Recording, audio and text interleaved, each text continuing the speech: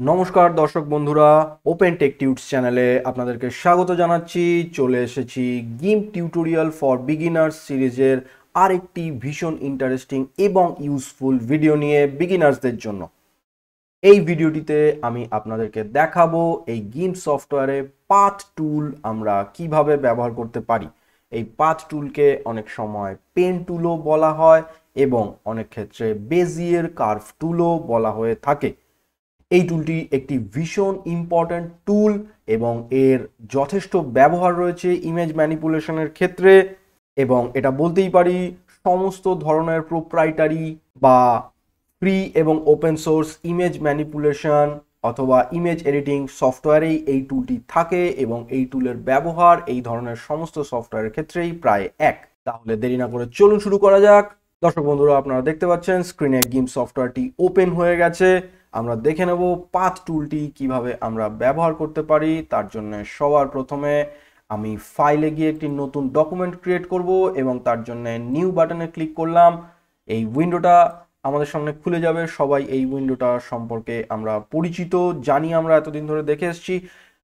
With height যেটা default set করা রয়েছে, যেটা আপনি লাস্ট প্রজেক্টে ইউজ করেছিলেন সেটাই থাকবে। আমি এটা চেঞ্জ করব না। আপনারা যে কোনো ডিফল্ট উইথ হাইট নিয়েই কাজটা শুরু করতে পারেন, কারণ এই মুহূর্তে আমরা টুলটার ব্যবহার দেখব, যেটা প্রয়োজন অ্যাডভান্স অপশানে গিয়ে আমরা দেখে নেব ফিল উইথ কালার কোনটা রয়েছে, এখানে ব্যাকগ্রাউন্ড কালার রয়েছে, এবং আমরা দেখতে পাচ্ছি যে সোয়াচ বক্সে আমার ব্যাকগ্রাউন্ড কালার হোয়াইট তাহলে আমি ফিল উইথ ব্যাকগ্রাউন্ড কালার নিয়েও কাজটা শুরু করতে পারি।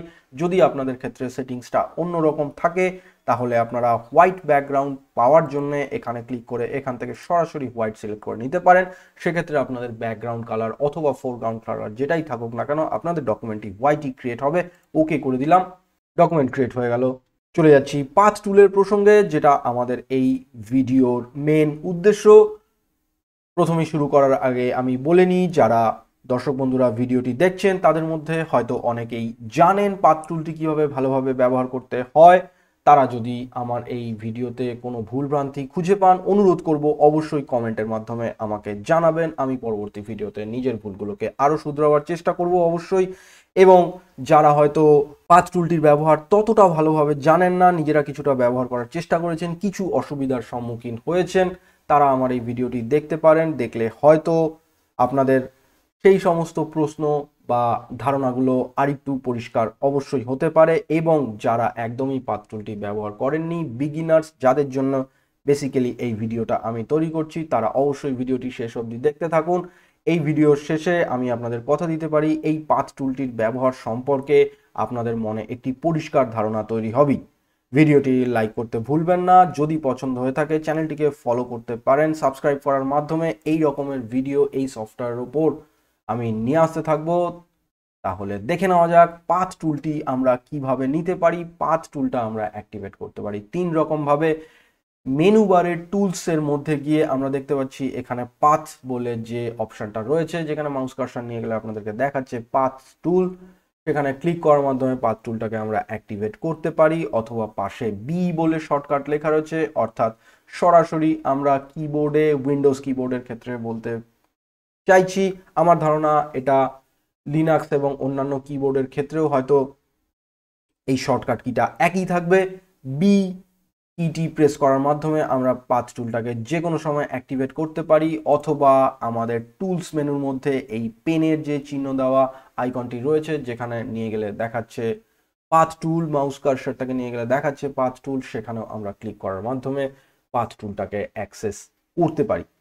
আমি এখানে ক্লিক করার মাধ্যমে পাথ টুলটাকে অ্যাক্সেস করে নিলাম এবং পাথ টুলটাকে অ্যাক্সেস করার সাথে সাথে কারসারে কিছুটা চেঞ্জ হয়ে গেল, আপনি দেখতে পাচ্ছেন কারসারের সাথে এখানে একটা আইকন যুক্ত হয়ে গেছে, যেটাতে আমরা একটা কার্ভ লাইন দেখতে পাচ্ছি এবং একটা স্ট্রেট লাইন দেখতে পাচ্ছি, দুটো একসাথে কম্বাইন করা আছে। এই চিহ্নটারও অবশ্যই একটা মানে আছে, সেটাই আমরা ডিসকাস করতে থাকব। এর সাথে আমরা দেখে নিই, এই পাথ টুল অ্যাক্টিভেট করার সাথে সাথে আমাদের ইনফরমেশন ট্যাবে আমরা নতুন কিছু অপশান দেখতে পাচ্ছি। এখানে বলা রয়েছে এডিট মোড এবং যেখানে তিনটে মোড রয়েছে ডিজাইন এডিট মুভ তিনটে মোড রয়েছে এবং বাই ডিফল্ট আপনারা দেখতে পাচ্ছেন যে ডিজাইন মোডটি সিলেক্টেড অবস্থায় রয়েছে। আমরা যে কোনো মোড অ্যাক্টিভেট করতে পারি, এখানের এই বাটনগুলোকে ক্লিক করে সেটাকে সিলেক্ট করার মাধ্যমে, অথবা বাই ডিফল্ট ডিজাইন মোডটি সবসময় অ্যাক্টিভেটই থাকে। আমরা এডিটের পাশে সিটিআরএল বলে আপনি শর্টকাট কি দেখতে পাচ্ছেন, অর্থাৎ উইন্ডোজ কিবোর্ডে কন্ট্রোল কি প্রেস করার মাধ্যমেও আপনি এডিট মোড অ্যাক্টিভেট করতে পারেন এবং মুভ মোডটি অ্যাক্সেস করার জন্য উইন্ডোজ কিবোর্ডে অল্ট কি প্রেস করার মাধ্যমেও আপনি মুভ মোডটি অ্যাক্টিভেট করতে পারেন। এই মোডগুলোর ব্যবহার আমরা পরবর্তীকালে দেখব। তার নিচে পলিগোনাল বলে একটি অপশন রয়েছে, যেটা বাই ডিফল্ট আনচেক রয়েছে। এই অপশনটিরও ব্যবহার আমরা এই ভিডিওতে দেখব ডিটেলসে আলোচনা করব। তারপরে আমাদের তিনটে বাটন রয়েছে, selection from path, fill path এবং স্ট্রোক পাথ বলে তিনটে বাটন রয়েছে এবং এই বাটনগুলি তিনটেই ডিফল্ট অবস্থায় ডিঅ্যাক্টিভেটেড রয়েছে। এই বাটনগুলোর ব্যবহারও আমরা দেখব। সবার প্রথমে শুরু করতে গেলে বিগিনার্সদের জন্য আমি আইডিয়া একটু দিয়ে রাখি। এই পাথ টুলের ব্যবহার কি বা পাথ টুলটা আমরা ঠিক কি কি ক্ষেত্রে ব্যবহার করব? এই পাথ টুল দিয়ে আমরা যে কোনো ইমেজ এডিটিং বা ম্যানিপুলেশন প্রোগ্রামে এমন কিছু কাজ করতে পারি খুব সহজেই, যেগুলো হয়তো অন্যান্য কিছু টুলের ব্যবহারের মাধ্যমেও করা পসিবল কিন্তু সেক্ষেত্রে হয়তো আমাদের আরেকটু বেশি এফোর্ট দিতে হতে পারে বা আরেকটু বেশি কাজ করতে বা খাটতে হতে পারে, যেটা কিনা এই পাঁচ টুলের সাহায্যে আপনারা সহজে করে ফেলতে পারেন। গিম সফটওয়্যারের পাঁচ টুলের মাধ্যমে আমরা কি কি করতে পারি? গিম সফটওয়্যারের পাথ টুলের মাধ্যমে আমরা কিছু জিওমেট্রিক্যাল শেপ প্রিপেয়ার করতে পারি। আপনারা হয়তো খেয়াল করে অবশ্যই দেখে থাকবেন যে গিম সফটওয়্যারে শেপ টুল বলে কোনো কিছু ইনক্লুড করা নেই, যেটা প্রায় সমস্ত প্রোপ্রাইটারি ইমেজ এডিটিং এবং ম্যানিপুলেশন প্রোগ্রাম বা সফটওয়্যারগুলোতে বাই ডিফল্ট থাকে, যেখানে আপনারা বিভিন্ন রকম প্রিসেট শেপস সেখানে পেয়ে যান। ক্রিয়েটেড অবস্থায় এবং সেখান থেকে আপনারা সরাসরি সেই টুলটাকে অ্যাক্সেস করার মাধ্যমে সেই ধরনের শেপসগুলো আপনারা ক্রিয়েট করতে পারেন। গিম্পে সেরকম কোনো টুল অ্যাড করা নেই। তবে সেই টুলটার কমতিটা কিছু ক্ষেত্রে আমরা এই পাথ টুল ব্যবহার করে করে ফেলতে পারি। এই পাথ টুলের সাহায্যে আমরা বেশ কিছু খুব সহজ এবং খুব কমপ্লেক্স জিওমেট্রিক্যাল শেপসও আমরা ক্রিয়েট করতে পারি। এছাড়া এই পাথ টুলের সাহায্যে আমরা যে কোনো ফটোর মধ্যে কোনো নির্দিষ্ট জিওমেট্রিক্যাল শেপের বা একটু কমপ্লেক্স জিওমেট্রিক্যাল শেপেরও যদি কোনো অবজেক্ট থাকে এবং সেটাকে যদি আমাদের আউটলাইন করতে হয় অথবা যদি সিলেক্ট করতে হয়, তাহলে এই পাথ টুলের সাহায্যে আমরা খুব সহজে সেটাকে করতে পারি। বিশেষ করে আমি বলব, যদি এমন কোনো জিওমেট্রিক্যাল শেপস হয় যেখানে প্রচুর কার্ভ রয়েছে ইলিপটিক্যাল শেপ রয়েছে সার্কুলার শেপ রয়েছে, ইত্যাদি এই ধরনের ক্ষেত্রে আমরা খুব প্রেসাইজলি সিলেকশন করতে পারি বা আউটলাইন করতে পারি এই পাথ টুলটার সাহায্যে। আশা করি এই পাথ টুলটার একটু ছোট্ট ধারণা আপনাদেরকে দিতে পারলাম, যারা বিগিনার্স তাদের জন্য আমি বলতে চাইছি, আমরা দেখে নেব এই পাথ টুলটা বেসিক ব্যবহার আমরা কীভাবে করব প্রথমে এবং তারপরে আমি আপনাদের জন্য একটি ছোট্ট কাজ এই ভিডিওতে করে দেখাবার চেষ্টা করব, যাতে করে আপনাদের আরও ভালো ধারণা তৈরি হয় এই পাথ টুলটা আপনারা প্রফেশনালি কীভাবে ইউজ করতে পারেন। এক্ষেত্রে আমি অবশ্যই জানি এবং আপনাদেরকে বলে রাখি, সমস্ত ফটো এডিটিং প্রফেশনালসরা এবং গ্রাফিক্স ডিজাইনার প্রফেশনালসরা এই পাথ টুলের প্রচুর ব্যবহার করে, এটা আমার নিজের জানা এবং দেখা। সবার প্রথমে ডিজাইন মোডের কথাতেই আসছি, যেটা বাই ডিফল্ট অ্যাক্টিভেট থাকবে। এই ডিজাইন মোডেই আপনি পাথটা ক্রিয়েট করতে পারেন ডকুমেন্টের ওপর বা ইমেজের ওপরে এবং এই ডিজাইন মোডেই আপনি পাথ টুলের ম্যাক্সিমাম কাজটা বা ম্যাক্সিমাম ম্যানিপুলেশনটা করতে পারেন এডিট এবং মুভ মোডে আপনি ফার্দার ম্যানিপুলেশন করতে পারবেন, কিন্তু ডিজাইন মোডে আপনি পাথ ক্রিয়েট করার সময় বা পাথকে ম্যানিপুলেট করার সময় যতটা কাজ করতে পারবেন এডিট এবং মুভ মোডে আপনি ততটা পারবেন না। এডিট মোডেরও কিছু কিছু কার্যকারিতা রয়েছে, কিন্তু ডিজাইন মোডের মতো অতটা অবশ্যই নয়। তবে এডিট মোডেরও নির্দিষ্ট কার্যকারিতা রয়েছে এবং মুভ মোডের শুধুমাত্র একটাই কার্যকারিতা রয়েছে, সেটা আমরা দেখব। তাহলে পাথ যদি আপনাকে ক্রিয়েশন শুরু করতে হয়, আপনাকে ডিজাইন মোডেই থাকতে হবে, যেটা বাই ডিফল্ট রয়েছে এডিট বা মুভ মোডে থেকে আপনি কোনো নতুন পাথ ডিজাইন বা ক্রিয়েট শুরু করতে পারবেন না। বাই ডিফল্ট আমরা ডিজাইন মোডেই রয়েছি। পাথ শুরু করার জন্য আপনি ডকুমেন্ট বা ইমেজের ওপরে যে কোনো জায়গায় ক্রিয়েট করতে পারেন। ক্লিক করার মাধ্যমে আপনাকে পাথ টুলটি ড্র করা শুরু করতে হবে। মনে করুন আমি এখানে একটি ক্লিক করলাম। ক্লিক করার মাধ্যমে আপনি দেখতে পাচ্ছেন আমার ডকুমেন্টের ওপরে একটি ছোট্ট সার্কুলার আইকন ক্রিয়েট হলো এবং ওই ছোট্ট সার্কুলার আইকনটির ওপরে একটি স্কোয়ার বক্সও রয়েছে। এরকম একটি পয়েন্ট আমরা ডকুমেন্টের ওপরে ক্লিক করলাম, যেটা ক্লিক করার সাথে সাথে ক্রিয়েট হয়ে গেল। এটাকে বলা হয় পাথের নোড। এই নোডেরও প্রচুর ফাংশনালিটি রয়েছে, সেটা আমি আপনাদেরকে ডেসক্রাইব করছি। এখন যদি আপনি ডকুমেন্টের অন্য যে কোনো জায়গায় আরেকটি ক্লিক করেন, তাহলে সেখানেও একটি নোড ক্রিয়েট হবে এবং আগের নোটটি থেকে এই নোটটি অবধি একটি স্ট্রেট লাইন ক্রিয়েট হয়ে যাবে। দেখে নেওয়া যাক ব্যাপারটা। এইভাবে আমরা কানেক্টিং স্ট্রেট লাইনের মাধ্যমে বিভিন্ন কমপ্লেক্স জিওমেট্রিক্যাল শেপও তৈরি করতে পারি। যেরকম সিম্পলি আমি যদি এরকমভাবে ক্লিক করি, আপনারা দেখতে পাচ্ছেন যে যেখানে যেখানে আমি ক্লিক করছি, সেখানে সেখানে একটি নোট তৈরি হচ্ছে এবং আগের নোট থেকে নতুন ক্রিয়েটেড নোট অবধি একটি স্ট্রেট লাইন ক্রিয়েট হয়ে যাচ্ছে। এই রকমভাবে আমরা যে কোনো কমপ্লেক্স শেপ তৈরি করতে পারি অথবা খুব সিম্পল জিওমেট্রিক্যাল শেপও তৈরি করতে পারি বা এরকমভাবে আমরা একটি কমপ্লেক্স রিজিয়নও তৈরি করতে পারি। যদি আমাদের রিজিয়নটা কমপ্লিট করতে হয়, তাহলে আমাদের লাস্ট ক্রিয়েটেড নোট এবং ফার্স্ট ক্রিয়েটেড নোটটাকে কানেক্ট করাতে হবে। সেই কানেক্ট করাতে গেলে আমাদেরকে এডিট মোডে যেতে হবে অথবা আপনারা সিম্পলি কিবোর্ডে কন্ট্রোল কিটা পেস্ট করে এডিট মোডটাকে অ্যাক্সেস করেও কাজটা করতে পারেন। আমি কিবোর্ডে কন্ট্রোল কিটা প্রেস করছি এবং প্রেস করে আমি দেখিয়ে দিচ্ছি যে এই যে কানেক্টেড সিরিজ অফ স্ট্রেট লাইনগুলো আমরা ক্রিয়েট করছিলাম, এটা যদি একটা রিজিয়নে কনভার্ট করতে হয়, তাহলে লাস্ট ক্রিয়েটেড নোট আর ফার্স্ট ক্রিয়েটেড নোটটা আমরা কীভাবে জয়েন করতে পারি? কিবোর্ডে কন্ট্রোল কিটা প্রেস করে ধরে আছি। আপনি দেখতে পাচ্ছেন যে কার্সারের মধ্যে অলরেডি একটা ছোট্ট চেঞ্জ হয়ে গেছে। এখন যদি আপনি ফার্স্ট নোট যেটা ছিল, সেটা আপনাকে মাথায় রাখতে হবে কোনটা আপনি ফার্স্ট নোট ক্রিয়েট করেছিলেন, সেই ফার্স্ট নোটের কাছাকাছি যদি আপনি চলে যান এবং ফার্স্ট নোটের ওপরে যদি আপনি কাউসটা কার্সারটাকে প্রেস করেন, আপনি দেখতে পাবেন যে কার্সারের মধ্যে আরেকটা চেঞ্জ হয়ে গেল এবং সেখানে ছোট্ট ছোট্ট দুটো কম্বাইন্ড সার্কেলের আইকন জেনারেট হয়ে গেল এবং এই আইকনটা আসার মানে আপনি বুঝতে পারবেন যে এখন যদি আমরা ক্লিক করি পাথ টুলটি অটোমেটিক্যালি লাস্ট ক্রিয়েটেড নোট এবং এই ফার্স্ট নোটটার মধ্যে একটা লাইন কানেক্ট করে দেবে এবং এই রিজিয়নটিকে কমপ্লিট করে দেবে। সিম্পলি এইরকম আমি ক্লিক করলাম এবং এই রিজিয়নটি কমপ্লিট হয়ে গেল। এখন যদি আপনি আবার ক্লিক করেন, তাহলে আরেকটি নতুন পাথ সেকশন ক্রিয়েট হওয়া শুরু হয়ে যাবে, যেহেতু এই রিজিয়নটি কমপ্লিট হয়ে গেছে। মনে করুন, আমি এখন এই ডকুমেন্টের মধ্যে অন্য আরেকটি জায়গায় ক্লিক করছি। দেখুন, সেখান থেকে নতুন আরেকটি নোট ক্রিয়েট হয়ে গেছে এবং এই নোটটার কিন্তু আগের আমাদের যে কমপ্লিট পাথ রিজিয়নটা আমরা ক্রিয়েট করেছি, তার সঙ্গে কোনো রকম লিঙ্ক নেই। এখান থেকে আরেকটা নতুন পাথ সেগমেন্টের ডিজাইন শুরু হয়ে গেল। এই রকমের সিঙ্গেল ক্রিয়েটেড নোট বা যে কোনো নোটকে যদি আমরা ডিলিট করতে চাই, তাহলে এই নোটটি যেহেতু আমরা এইমাত্র ক্রিয়েট করেছি নোটটি সিলেক্টেড অবস্থাতেই আছে। নোটটি সিলেক্টেড অবস্থাতেই নোটটির ওপরে ছোট্ট স্কোয়ার আইকনটা ভিজিবল থাকবে। যে নোটগুলো সিলেক্টেড নেই, সে নোটগুলোর ওপরে কিন্তু কোনো রকম স্কোয়ার আইকন ভিজিবল থাকবে না। আপনারা এই আইকনটি দেখে চিহ্নিত করতে পারবেন কোন নোটটি সিলেক্টেড অবস্থায় আছে। যেরকম লাস্ট আমরা যে পাথ সেগমেন্টটা ক্রিয়েট করেছি, তার কোনো রকম নোট এই মুহূর্তে সিলেক্টেড অবস্থায় নেই।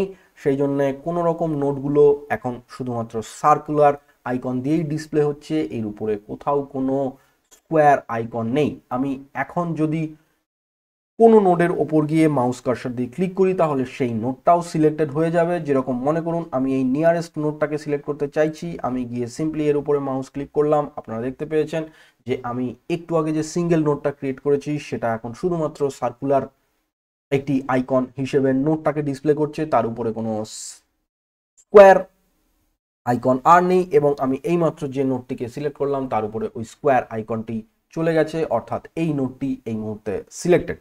নোট ডিলিট করা নিয়ে আলোচনা করছিলাম, আমি এই সিঙ্গেল নোটটাকে সিলেক্ট করছি, এই নোটটাকেই আমরা ডিলিট করব। এই প্রসঙ্গত আমি আগেও বলেছি, আবারও বলছি, যে কোনো নোটকে আপনি সিলেক্ট করে ডিলিট করতে পারেন, নোটটিকে সিলেক্ট অবস্থায়। উইন্ডোজ কিবোর্ডে ব্যাক স্পেস কিটি প্রেস করলে নোটটি ডিলিট হয়ে যাবে, আমি simply back space key press করছি এবং আপনি দেখতে পেয়েছেন যে স্ক্রিনে আমার নোটটি ডিলিট হয়ে গেল। এরকমভাবে যে কোনো ক্রিয়েটেড নোটও আপনি ডিলিট করতে পারেন সিম্পলি নোটটিকে সিলেক্ট করুন এবং ব্যাক স্পেস কি প্রেস করুন। আপনি দেখতে পেলেন যে নোটটি ডিলিট হয়ে গেল এবং আমি যদি এই নোটটিকেও সিলেক্টেড করি এবং ব্যাক স্পেস কি প্রেস করি, তাহলে নোটটি ডিলিট হয়ে যাবে। বলাই বাহুল্য, এখানে কিন্তু কিবোর্ডের ডিলিট কিটি কাজ করবে না। ব্যাক স্পেস দিয়েই আমরা নোট ডিলিট করতে পারি। ব্যাক স্পেস প্রেস করলাম আপনারা দেখতে পেলেন নোটটি ডিলিট হয়ে গেল। তাহলে আমরা এই মুহূর্তে পাথ টুলের নোট ক্রিয়েশন এবং নোট ডিলিট কি করে করতে হয়, সেগুলো আমরা দেখলাম। খুবই বেসিক ব্যবহার এখন অবধি আমরা দেখলাম। আর একটু পরবর্তী পর্যায়ে চলে যাচ্ছি। সেখানে আমরা দেখতে পারি যে নোটগুলোকে ম্যানিপুলেট আমরা কি করে করতে পারি। এই মুহূর্তে আমরা যে রিজিয়নটা তৈরি করেছি, সেটা একটি সিম্পল জিওমেট্রিক্যাল রিজিয়ন এবং যার প্রত্যেকটা বাহু হচ্ছে একটা স্ট্রেট লাইন এবং এটা একটি স্ট্রেট লাইনের সেগমেন্ট এবং প্রত্যেকটা পয়েন্টে একটি করে নোড রয়েছে।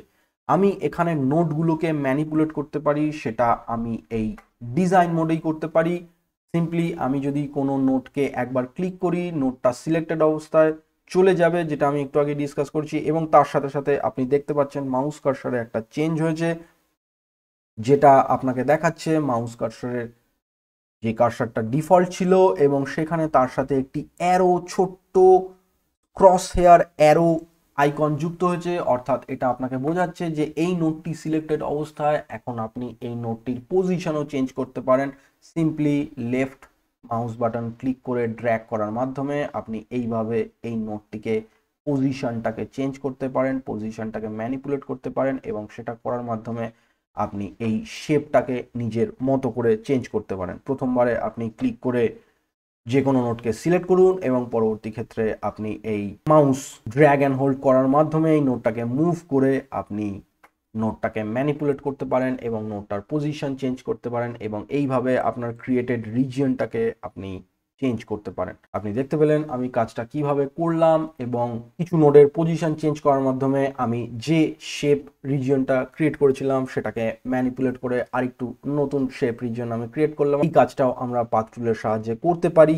তাহলে আমরা ডিজাইন টুলের ব্যবহারটা কিছুটা দেখলাম এবং এডিট টুলেরও একটি ব্যবহার নিয়ে আমরা আলোচনা করলাম। এডিট টুল এবং ডিজাইন টুলের আরও ব্যবহার নিয়ে আলোচনা করব। এই মুহূর্তে মুভ টুলটির ব্যবহার নিয়ে আমি আপনাদেরকে ডিসকাস করে দিই, কারণ মুভ টুলটি আমরা শুধুমাত্র একটাই পারপাসের ক্ষেত্রে ব্যবহার করতে পারি, সেটা হলো আমরা পাথ টুল দিয়ে যে শেপটা ক্রিয়েট করেছি বা যে পাথটা ক্রিয়েট করেছি, সেটাকে আমরা শুধুমাত্র মুভ করতে পারি এবং যখন আমরা মুভ করব, এক্ষেত্রে কোনো ইন্ডিভিজুয়াল নোট মুভ হবে না। ইন্ডিভিজুয়াল নোটকে আমরা কীভাবে মুভ করতে পারি একটু আগেই দেখালাম, এই মুভ টুলের বা মুভ মোডটা ব্যবহার করার মাধ্যমে আমরা পুরো পাথ শেপটা বা পাথ রিজিয়নটা বা পাথ যেটা আমরা ক্রিয়েট করেছি সিম্পলি পাথটা সেটাকে সম্পূর্ণভাবে এক জায়গা থেকে আরেক জায়গায় মুভ করতে পারি। আমি সিম্পলি এখানে ক্লিক করার মাধ্যমে মুভ টুলটাকে অ্যাক্টিভেট করছি।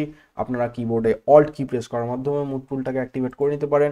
আমি মুভ টুলটাকে অ্যাক্টিভেট করলাম। এখন দেখুন কারসারে ঠিক নোড মুভ করার সময় যে চেঞ্জটা হয়েছিল, এখানেও আমরা সেই চেঞ্জটাই দেখতে পাচ্ছি। এখানে তখন নোডের কাছাকাছি নিয়ে গেলে আমাদেরকে ওই মুভ ক্রসয়ারটা দেখাচ্ছিল। এখন আমাদের এই মুভ ক্রসয়ারটা কারসারের সঙ্গে সবসময় দেখাচ্ছে, অর্থাৎ আমরা এটাকে সিম্পলি এখন এইরকমভাবে ক্লিক অ্যান্ড ট্র্যাক করার মাধ্যমে এই পাথটাকে আমরা সম্পূর্ণভাবে মুভ করতে পারি, লোকেশনটাকে চেঞ্জ করতে পারি। পাথটার শেপে কোনো চেঞ্জ হবে না। সম্পূর্ণ পাথটা বা পাথ রিজিয়নটার লোকেশনটা চেঞ্জ হয়ে যাবে এই রকমভাবে এবং এটা আমি শুধুমাত্র পাথের মধ্যে থেকে ক্লিক করেও বা পাথের ওপরে গিয়ে ক্লিক করেও বা পাথের বাইরে যেখানেই আমি ক্লিক করে ড্র্যাক করি না কেন, এই পাথটাই যে পাথটা সিলেক্টেড অবস্থায় রয়েছে, সেই পাথটাই মুভ হবে। আপনাদের ক্ষেত্রে যদি মাল্টিপল পাথ রিজিয়ন বা শেপ ড্র করা থাকে কোনো ডকুমেন্টের মধ্যে, যেই পাথটা সিলেক্টেড অবস্থায় থাকবে মুভ মোডে গেলে শুধুমাত্র সেই পাথটারই লোকেশন আপনি চেঞ্জ করতে পারবেন। এটাই মুভ মোডটার একমাত্র ব্যবহার। এরপরে চলে যাচ্ছি এডিট মোডটির আরেকটি ব্যবহারের ক্ষেত্রে। এডিট মোডটির আরেকটি ব্যবহারের ক্ষেত্রে আমরা যেটা করতে পারি, আমি এখানে ক্লিক করে সরাসরি এডিট মোডটিকে অ্যাক্টিভেট করে নিচ্ছি। এখন আমরা যে সিম্পল জিওমেট্রিক্যাল শেপটি পাথ টুলটার সাহায্যে ক্রিয়েট করেছি, সেই টুলটিকে আরেকটু কমপ্লেক্স জিওমেট্রিক্যাল শেপে টার্ন করাতে পারি।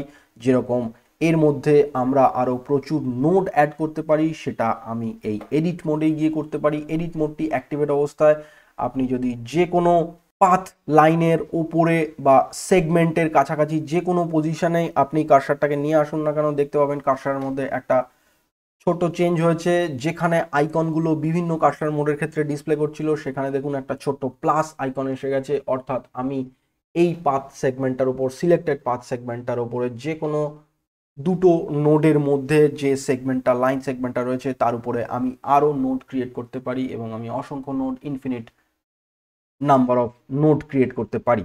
সিম্পলি ক্লিক করার মাধ্যমে এই রকমভাবে দেখুন নোট ক্রিয়েট হয়ে গেল এবং এক্ষেত্রে আপনারা খেয়াল করুন, এই এডিট মোডে এখন নোটগুলো ক্রিয়েট করার সাথে সাথে যে নতুন নোটগুলো ক্রিয়েট হচ্ছে, তার সাথে কিন্তু একটা মাফ করবেন, একটা নয়, দুটো হ্যান্ডেলও ক্রিয়েট হয়ে যাচ্ছে। এই আইকনগুলোকে হ্যান্ডেল বলা হয়, যেটা দিয়ে আমরা নোড এবং তার পাশের লাইন সেগমেন্টটাকে বিভিন্নভাবে শেপ চেঞ্জ করতে পারি এবং কন্ট্রোল করতে পারি। সেটার ব্যবহার আপনাদেরকে দেখাবো। আপনারা নিশ্চয়ই খেয়াল করেছেন যে আগের বার ডিজাইন মোডে যখন আমরা নোট ক্রিয়েট করছিলাম, তখন কিন্তু আমি যেরকমভাবে এখন অবধি আপনাদেরকে দেখিয়েছি, তাতে করে কোনো রকম হ্যান্ডেল জেনারেট করছিল না। কিন্তু এখন এডিট মোডে আমি যেখানেই নতুন নোট অ্যাড করছি, এখানে কিন্তু দুটো অপোজিট হ্যান্ডেল ক্রিয়েট হয়ে যাচ্ছে। নোটটা যেখানে মিডলে ক্রিয়েট হচ্ছে এবং তার দুপাশে দুটো ইকুয়াল ডিস্টেন্সে দুটো ছোট ছোট সার্কুলার বক্স এবং কানেক্টেড ইয়েলো লাইন রয়েছে। এই দুটোকে আমরা হ্যান্ডেল বলে থাকি। আমরা এক্সিস্টিং নোডের উপরেও হ্যান্ডেল ক্রিয়েট করতে পারি। সেটা কীভাবে, সেটা আমি দেখব। আপাতত এডিট মোডে এই ব্যাপারটা হচ্ছে। আপনারা নিশ্চয়ই দেখতে পাচ্ছেন। যাই হোক এডিট মোডে আমরা এইরকমভাবে প্রচুর নোড আমরা অ্যাড করতে পারি এবং আবার যদি আমরা ডিজাইন মোডে ব্যাক করি সিম্পলি ডিজাইন মোডে গিয়ে আমরা যে নিউলি ক্রিয়েটেড নোটগুলো রয়েছে বা তৈরি করেছি, সেগুলোকেও আমরা সিলেক্ট করে ঠিক আগের মতোই আমরা নোডের পজিশান চেঞ্জ করতে পারি। কিন্তু এক্ষেত্রে আপনারা দেখুন, একটু অন্যরকম ব্যাপারটা এক্ষেত্রে হয়ে গেছে। আমরা এডিট মোডে গিয়ে যে নোটগুলো ক্রিয়েট করেছি, সেই নোডের সাথে হ্যান্ডেল ছিল। এখন যখন আমরা যে কোনো নোডের পজিশন চেঞ্জ করছি, যে নোটগুলো আমরা এডিট মোডে জেনারেট করেছি, সেই নোটগুলোর যখন আমরা পজিশন চেঞ্জ করছি, সেই নোটগুলোর পজিশন চেঞ্জ হওয়ার পরে তার কানেক্টেড সেগমেন্টগুলো কিন্তু আর স্ট্রেট লাইনে থাকছে না, যেরকম আপনি এক্ষেত্রে খেয়াল করলেই বুঝতে পারছেন যে একটা সেগমেন্ট কিন্তু আমাদের একটু কার্ভ লাইনে ট্রান্সফর্ম করে গেছে। এটা কিন্তু এডিট মোডে গিয়ে আমরা ক্লিক করে যে নতুন নোটগুলো ক্রিয়েট করেছি, তার ক্ষেত্রে এবং তার ঠিক দুপাশের অ্যাডজাসেন্ট নোডের ক্ষেত্রেই ব্যাপারটা প্রযোজ্য হবে এবং তার একটা অ্যাডজাসেন্ট নোডের পরের নোডেও ব্যাপারটা প্রযোজ্য নাও হতে পারে। যদি তার পাশে আমি এডিট দিয়ে কোনো নতুন নোট ক্রিয়েট না করে থাকি, যেরকম আমরা দেখতে পারি এই নোটটার ক্ষেত্রে, এই নোটটার ক্ষেত্রে যদি আমি চেঞ্জ করি, এই নোডের পাশে এবং অ্যাডজাসেন্ট দুপাশে যে দুটো নোট ছিল সেটা আমার ইনিশিয়ালি ক্রিয়েট করা ছিল, যেভাবে আমি নোটটা ক্রিয়েট করেছিলাম শুরুর দিকে। অতএব এই নোটটাকে যদি আমি এখন ম্যানিপুলেট করি, এর লোকেশন চেঞ্জ করি, তাহলে কিন্তু এর দুটো কানেক্টেড সেগমেন্টে কোনো রকম কার্ভ লাইন জেনারেট হচ্ছে না। এবারে আমরা চলে আসি কার্ভ লাইনের কথায়। হ্যাঁ এই পাথ টুল দিয়ে আমরা যেটা সবচেয়ে ভালোভাবে করতে পারি এবং এই পাথ টুলের একটা ভীষণ উল্লেখযোগ্য ব্যবহারও যেটা বলার, সেটা হচ্ছে আমরা এই স্ট্রেট লাইন সেগমেন্টের পাশাপাশি আমরা খুব সুন্দর জিওমেট্রিক্যাল এবং কমপ্লেক্স জিওমেট্রিক্যাল কার্ভ লাইনও আমরা ক্রিয়েট করতে পারি। এবং ওই কার্ভ লাইনগুলো ক্রিয়েট করার সময় আমাদের যেরকম দেখলেন প্রত্যেকটা নোডে যেরকম দুটো হ্যান্ডেল ক্রিয়েট হচ্ছে, সেই হ্যান্ডেলগুলো আমাদের কাজে লাগবে এবং সেই হ্যান্ডেলগুলোকে ম্যানিপুলেট করার মাধ্যমে আমরা কার্ভের শেপটাকেও চেঞ্জ করতে পারি। যে কোনো এক্সিস্টিং স্ট্রেট লাইন সেগমেন্টের মধ্যেও আমি কার্ভ অ্যাড করতে পারি, সেটা আমি এই ডিজাইন মোডেই করতে পারি এবং ডিজাইন মোডে যদি আমি যে কোনো দুটো স্ট্রেট লাইন সেগমেন্টের মধ্যে লাইন সেগমেন্টটাকে যদি আমি মুভ করার চেষ্টা করি, তাহলে ডিজাইন মোডে এডিট মোডে থাকলে আমার সেখানে একটা নতুন নোট ক্রিয়েট হয়ে যেত। কিন্তু ডিজাইন মোডে যেটা হবে, সেটা সফটওয়্যার ওই লাইনটাকে আপনি যেদিকে মুভ করবেন লোকেশন সেদিকে মুভ করবে এবং করার সাথে সাথে ওই স্ট্রেট লাইন সেগমেন্টটাকে সফটওয়্যার একটা কার্ভে ট্রান্সফর্ম করে দেবে এবং তার ঠিক দুপাশের দুটো কানেক্টেড নোডে সফটওয়্যার দুটো হ্যান্ডেল ক্রিয়েট করবে। প্রথমে দুটোই হ্যান্ডেল ক্রিয়েট করবে দুদিকের দুটো অ্যাডজাস্টেন্ট নোডে একটা একটা করে হ্যান্ডেল ক্রিয়েট করবে। দেখে নেওয়া যাক, এইখানে আমরা একটি কার্ভ লাইন ক্রিয়েট করছি সিম্পলি ডিজাইন মোডে এটাকে যদি আমি এই রকমভাবে মুভ করি, এক্ষেত্রে আপনারা দেখতে পেলেন যে একটা একটা নয়, দুটো দুটো নোডই ক্রিয়েট হয়েছে। কিন্তু আমি প্রথমে আপনাদেরকে বললাম যে একটা করে নোড ক্রিয়েট হবে। এক্ষেত্রে আমি বলে দিই, এই দুটো নোডের মধ্যে যে কোনো একটা নোড আমার ইনিশিয়ালি ক্রিয়েট করা নয়। আমি পরবর্তী ক্ষেত্রে আমি এডিট মোডে গিয়ে আমি নিশ্চয়ই সেখানে নোড অ্যাড করেছি, সেই কারণে এখানে দুটো হ্যান্ডেল প্রিভিয়াসলি তৈরি হয়ে গেছে। এক্ষেত্রে দেখিনি আমার মনে আছে যে এই নোটটাকে মুভ করার সময় এর আশেপাশের নোট দুটো আমার প্রিভিয়াসলি এবং ইনিশিয়ালি যখন আমি নোট ক্রিয়েট করেছিলাম, সেই সময় ছিল। আমি দেখে এই দুটোর মধ্যে কি একই রকম ব্যবহার করছে? এখন যদি আমি এই স্ট্রেট লাইন সেগমেন্টটাকে এরকমভাবে মুভ করি। আপনারা দেখতে পেলেন আমার আগের কথাটাই এবার ফলে গেল যে এই স্ট্রেট লাইনটা আমি যেদিকে মুভ করছি সফটওয়্যার এই স্ট্রেট লাইনটাকে একটি কার্ভ সেগমেন্টে কনভার্ট করে দিয়েছে। কিন্তু যেহেতু এগুলো আমার ইনিশিয়ালি ক্রিয়েট করার ছিল, আমি পরে এডিটের মাধ্যমে নোট অ্যাড করিনি, সেই জন্য এর দুপাশের দুটো অ্যাডজাসেন্ট নোডে কিন্তু একটা করে হ্যান্ডেল ক্রিয়েট হয়েছে। অতএব প্রথমে আমি একটু আগে যে এক্সাম্পলটা দেখালাম, সেক্ষেত্রে আমার কথাটা না মিললেও আপনারা হয়তো একটু অবাকই হয়ে গিয়েছিলেন বলব এক্ষেত্রে যে আমি একরকম বললাম, কিন্তু কাজে একরকম হলো। আমি তার এক্সপ্লেনেশন একটু আগেই দিয়ে দিয়েছি এবং এখন আপনাদেরকে করে দেখিয়ে দিলাম যে ইনিশিয়ালি আমরা যদি শুধুমাত্র ক্লিক করার মাধ্যমে নোট ক্রিয়েট করে থাকি স্ট্রেট লাইন নোটগুলো ক্রিয়েট করে থাকি, পরেও তার মধ্যে আমরা কার্ভেচার অ্যাড করতে পারি। কিন্তু সেক্ষেত্রে দুটো অ্যাডজাসেন্ট নোডে একটাই করে হ্যান্ডেল ক্রিয়েট হবে। আমরা এখানে দুটো হ্যান্ডেলও ক্রিয়েট করতে পারি এবং সেটা আমরা এই ডিজাইন মোডেই করতে পারি। কীভাবে? সেটাও আমরা দেখব। এখানে আপাতত একটাই করে হ্যান্ডেল ক্রিয়েট হচ্ছে। এখানেও আমরা আরেকটা আরেকটা করেও হ্যান্ডেল ক্রিয়েট করতে পারি। প্রসঙ্গত বলে রাখি, প্রত্যেকটা নোডের দুটোই হ্যান্ডেল হয়। যে দুটো হ্যান্ডেল দিয়ে আমরা দুটো নোডের মধ্যে লাইনের যে কার্ভেচার সেটাকে আমরা কন্ট্রোল করতে পারি। এখন যদি আমরা কিবোর্ডের কন্ট্রোল কি প্রেস করে এডিট মোডে চলে যাই এবং এক্সিস্টিং যে নোটগুলোতে একটা করে হ্যান্ডেল তৈরি হয়েছে, সেই নোডের উপরে ক্লিক করে যদি আমি ঠিক অপোজিট দিকে একটু ক্লিক অ্যান্ড ড্র্যাগ করি, তাহলে আমার সেই নোটটা থেকে আরেকটা হ্যান্ডেল জেনারেট করে যাবে, যেরকম এই মুহূর্তে আপনারা স্ক্রিনে লাইভ দেখতে পাচ্ছেন এবং সেই হ্যান্ডেলটা জেনারেট করে যাওয়ার সাথে সাথে তার পরবর্তী দুটোর মধ্যে যে স্ট্রেট লাইন সেগমেন্টটা ছিল অথবা যেরকম লাইন সেগমেন্টটাই থেকে থাকুক না কেন, তার মধ্যেও কার্ভেচার কিন্তু সফটওয়্যার অ্যাড করে দেবে। সিম্পলি এইভাবে এবং এরকমভাবে যে কোনো নোডের মধ্যে আমি সিলেক্ট করলাম, এই নোডের মধ্যে কোনো রকম কোনো হ্যান্ডেল ক্রিয়েট করা নেই। এটা একটি ভার্জিন নোড আমরা এক্ষেত্রে বলতে পারি এটা আমার নিজস্ব টার্ম এই নোডের মধ্যে এটা ডিজাইন মোডে ক্রিয়েট করা হয়েছিল, একদম ইনিশিয়াল নোড এই নোডের মধ্যে যদি আমরা হ্যান্ডেল ক্রিয়েট করতে চাই, তাহলে আমরা এই নোটটি সিলেক্টেড অবস্থায় কন্ট্রোল কি কিবোর্ডে প্রেস করে এডিট মোডে চলে গিয়ে আমরা যেদিকে কার্ভেচার ক্রিয়েট করতে চাই নোট থেকে সেদিকে যদি আমি মাউস হুইল ড্র্যাক করি, তাহলে দেখতে পাচ্ছেন যে সেদিকে একটা হ্যান্ডেল ক্রিয়েট হয়ে গেল এবং এই মাউস কি হোল্ড অবস্থায় আপনি যেদিকে ড্র্যাক করে আপনি হ্যান্ডেলটাকে প্রেস করবেন, আপনি দেখতে পাচ্ছেন কার্ভেচারটাও সেইভাবেই অ্যাফেক্টেড হবে এবং হ্যান্ডেলটাও সেইভাবেই প্লেসড হবে। এবং এখানে যদি আরেকটা হ্যান্ডেলও অ্যাড করতে হয়, তাহলে আপনাকে সিম্পলি আবার ওই কন্ট্রোল কি প্রেস করে এডিট মোডেই থাকতে হবে এবং ওই নোডের ওপরে গিয়ে ক্লিক করে আবার ড্র্যাগ করতে হবে এবং আপনি আরেকটি হ্যান্ডেলও ক্রিয়েট করে ফেলতে পারেন এবং তার পরের সেগমেন্টেও কার্ভেচার অ্যাড করতে পারেন। এইভাবে আপনারা যে কোনো দুটো নোট সেগমেন্টের মধ্যে কার্ভেচার অ্যাড করতে পারেন। প্রসঙ্গত আমি বলে রাখি এই দুটো হ্যান্ডেলের ক্যারেক্টারিস্টিক্স হলো, আপনি দুটো হ্যান্ডেলকে দুদিকেই প্লেস করবেন। একটা নোডের যেরকমভাবে আমরা নোটটা ক্রিয়েট করছি, তার একটি ফরওয়ার্ড সাইড থাকতে পারে এবং একটি ব্যাকওয়ার্ড সাইড থাকতে পারে। ব্যাপারটা খুবই সিম্পল খুবই জটিল নয়। আমরা নোটটা যেভাবে ক্রিয়েট করা শুরু করেছি, আমি আপনাদেরকে আরেকটু ভালো এক্সাম্পল দিয়ে বোঝাবার চেষ্টা করি। তার জন্য আমি আরেকটা নতুন কার্ভ সেগমেন্ট ড্র করছি।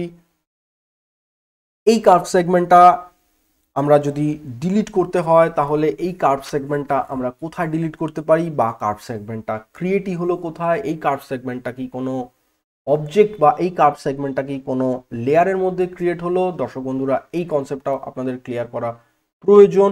যদি এই মুহূর্তে আপনি কার্ভ টুলটা অ্যাক্টিভেটেড অবস্থায় অন্য কোনো টুলে টার্ন ওভার করে যান, তাহলে কিন্তু আপনাদের এই যে কার্ভ পাথটি রয়েছে, সেটা এই মুহূর্তেই ডিসঅ্যাপিয়ার হয়ে যাবে, আপনাদের মনে হতে পারে কার্ভটি চলে গেল বা কার্ভ টুলটার ডিসঅ্যাপিয়ার হয়ে গেল বা ডিলিট হয়ে গেল, সেরকম কিন্তু হয়নি। সফটওয়্যার সেটাকে হিডেন করে দিয়েছে।